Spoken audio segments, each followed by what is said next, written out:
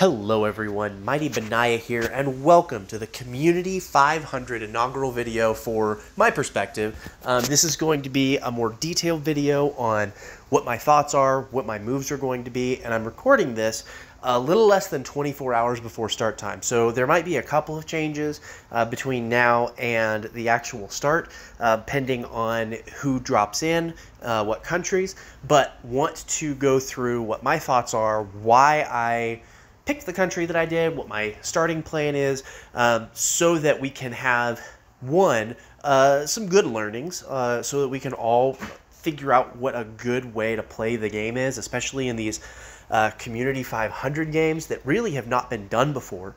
Um, but also, you know, to keep track of to keep track of my thoughts so that I can see where I messed up and where I did better. Um, so let's look and see where I'm at. So I am in Asia. I am north of um, India. And uh, Mighty, why did you why did you pick this specific nation? Well, in a 500, um, Europe is incredibly crowded, and the reason that Europe is incredibly crowded, um, for those of you who haven't played 500s before, look at how small these provinces are. Right, there are a lot of them densely packed in. Look, there's eight in there in that one nation um, there's a lot of provinces densely packed in. And the benefit of that is um, you are able to conquer through more provinces more quickly because the roads are shorter. Um, and so you are able to, uh, it's, it's, a, it's a lot faster paced, it's a lot harder, um, but it's also a lot more rewarding because you can grow big faster. So usually what I've noticed is nations that start coalitions that start in Europe typically end up getting first. The coalition that takes second is typically in Asia, right? Where you have, they're a little bit bigger, but you've got very much the same thing. Um, and then usually you'll have a North or South American coalition place third because these are really generally pretty spread out, right? These are, um, this is about the same zoomed in um, as I was in those other two, and the provinces are a lot more uh, dispersed, so it's harder to get um, it's harder to get a lot of traction quickly. So that's typically how things go in a 500. Well, then, Mighty, why don't you? Why didn't you jump into Europe or or Asia? You want to do well, right? You want to get first. Well, yes. However, there are going to be a lot of alliances that are going to join in together in this Community 500. And I, I knew that, and they are going to want to be in those top spots, right? I am joining this game by myself. I'm not depending on anybody. I am more than happy to work with people. Um, I'm not planning on, um, you know, winning solo. However, I'm not. I'm not opposed to it. I'm just not going into this with uh, six allies and we're all going to border each other and then we're going to dominate the world together. It's not how I wanted to play this game. So because of that, I want to take advantage of where other people are starting. I don't want to start next to a coalition that's going to overrun me at the very beginning.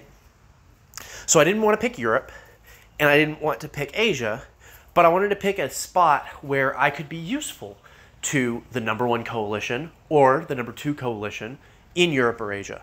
So I picked somewhere in between I picked somewhere that has big provinces, big roads, so it's a little easier to defend. I have some time to generate troops and defend. Um, and the other the other thing that's really good about this location, um, there are a couple of other good things.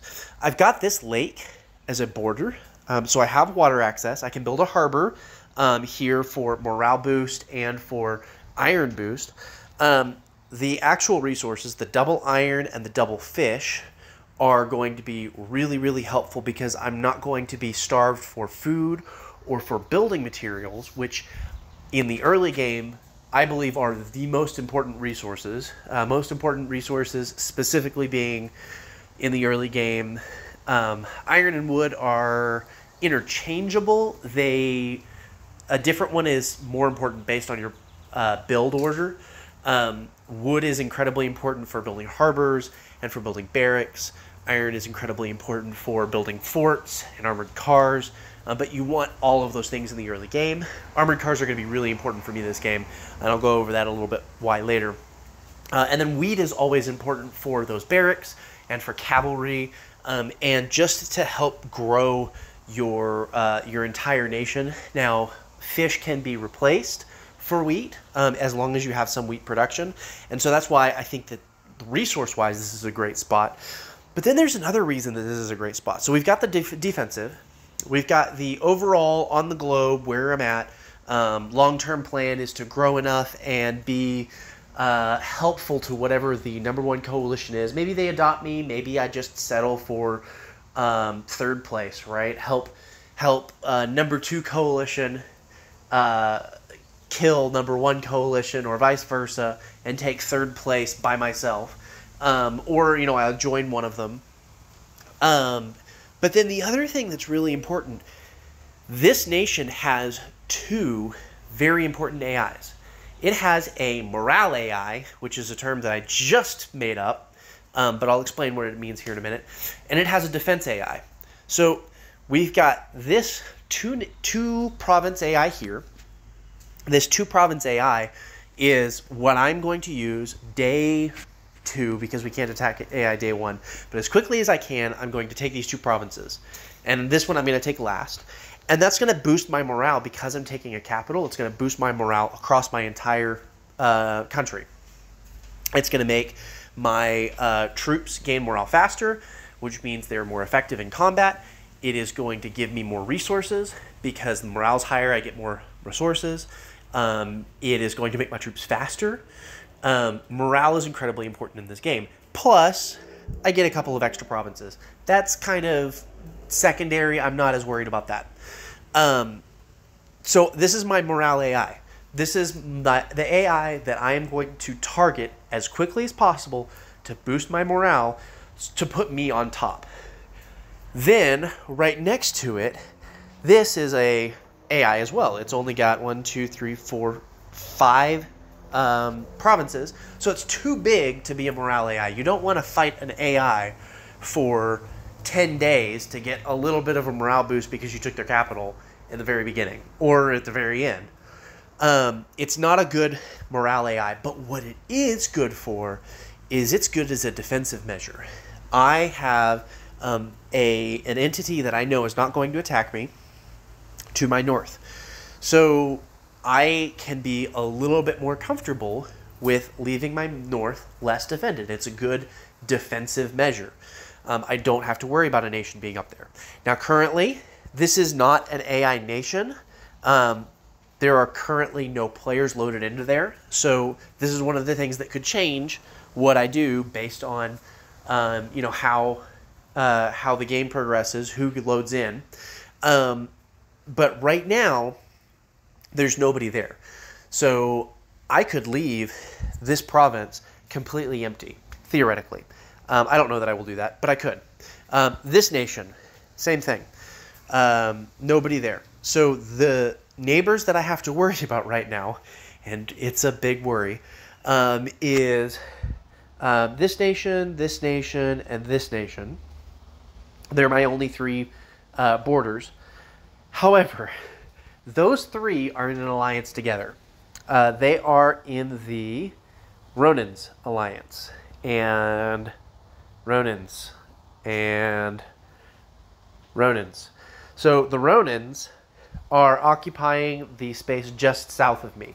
Um, there's more than those three, um, but those three are the ones that border me, so they're the ones that I have to be worried about. Um, so I am up against a 3v1 right now. Um, their best bet, because they all three border me, um, and then this is an AI, so they don't have to worry about that. Um, this guy has to worry about this guy, but this guy borders.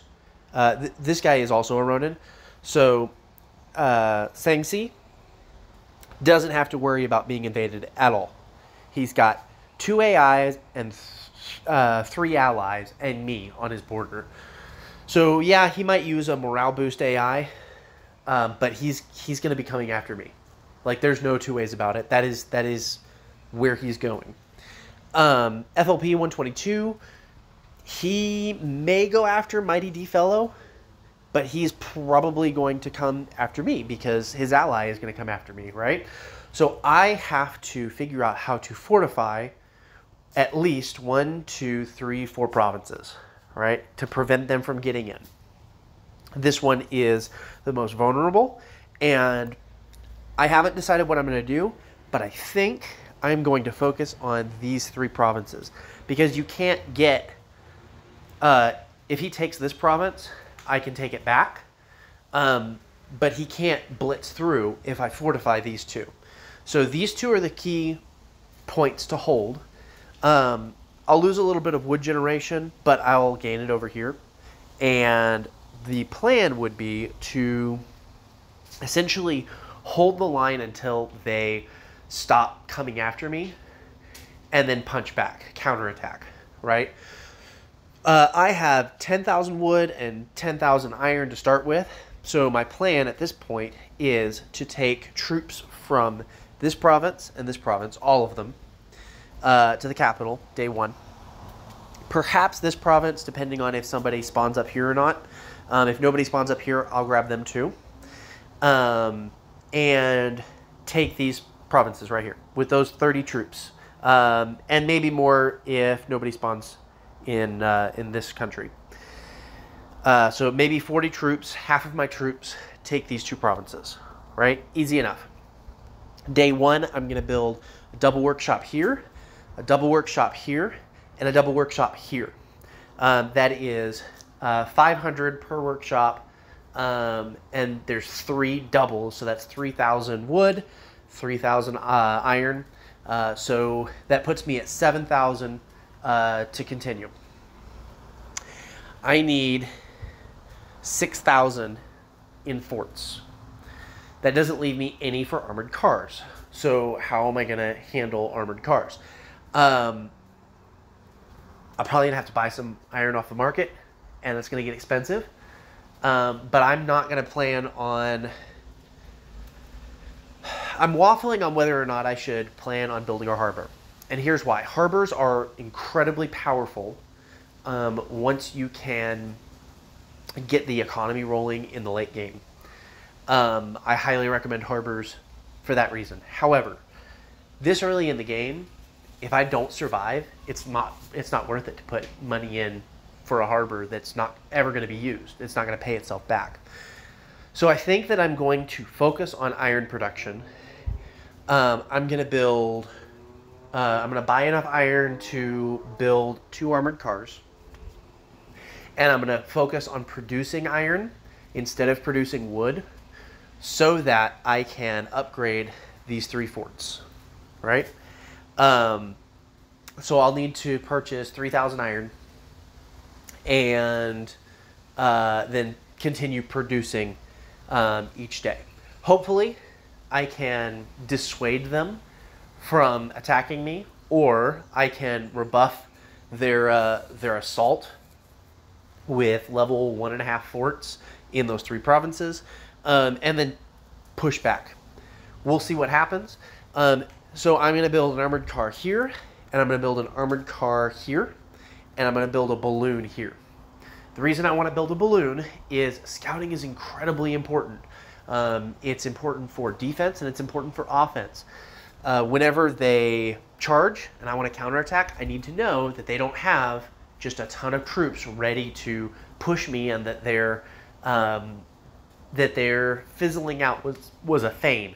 I don't want it to be a feign. When they fizzle out, I want to be able to march through straight to their capital and take them out. So that is my plan as of right now. I have reached out to uh, Mighty Fellow and, and said, hey, we spawned near an alliance. Do you want to work together?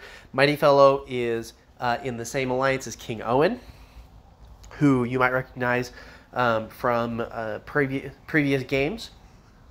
And I've also reached out to one other individual. Uh, Pony Buzaki. I reached out to Pony Buzaki, who is in another alliance. Um, he has a couple of different allies, and I reached out to him because I am bordering individuals that are likely going to be his enemy. So Um, is this going to be a rough game for me?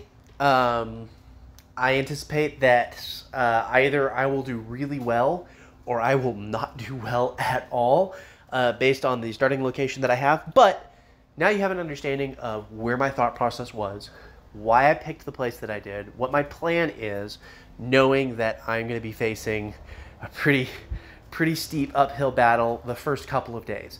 Um, it is peace day one, full peace day one. Um, day two, you can attack AI, and then day three, you can attack players. So I have two full days to build forts. Um, so I should have at least uh, level one and a half forts in those three provinces. We'll see what happens. I'm excited to continue showing this game. Worst case scenario, I get knocked out in the first couple of days, and I'll know it by the time I uh, by the time this video is posted, and then I can just spectate the rest of the game. But I'm excited to continue uh, showing you all what is happening in this game. Let me know if you have any questions, any suggestions on uh, other things that I should cover. Soli Deo Gloria, and I'll see you next time.